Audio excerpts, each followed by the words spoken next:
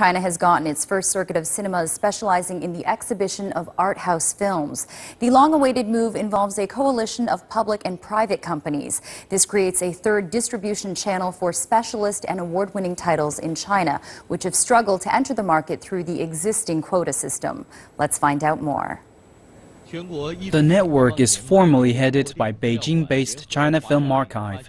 Other members include Huaxia Film Distribution, Wanda Cinemas, Lumiere Pavilions, and online ticketing firm Beijing Weiyin Technology, giving it an initial footprint in 31 towns and cities. It will see its first release handled in November. CFA is expected to curate a series of thematic strands, but each cinema is free to choose its own program within that. We have 100 cinemas that are already part of the network, with 400 more being added. It is committed to screening three art house films per day in at least 10 primetime slots per week. There is expected to be an accent on premium and award winning titles.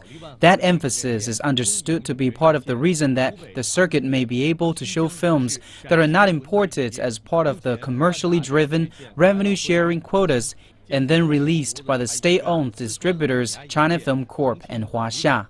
Auteur director Jia Zhangke's newly launched Fabula Entertainment is also part of the network.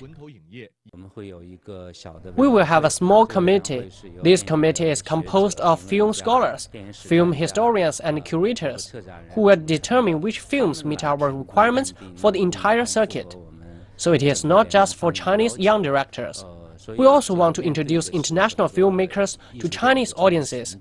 It is a bilateral communication. The move is part of a long gestating initiative by the Chinese government to increase diversity in the China film market, which is dominated by mainstream Hollywood and Chinese titles.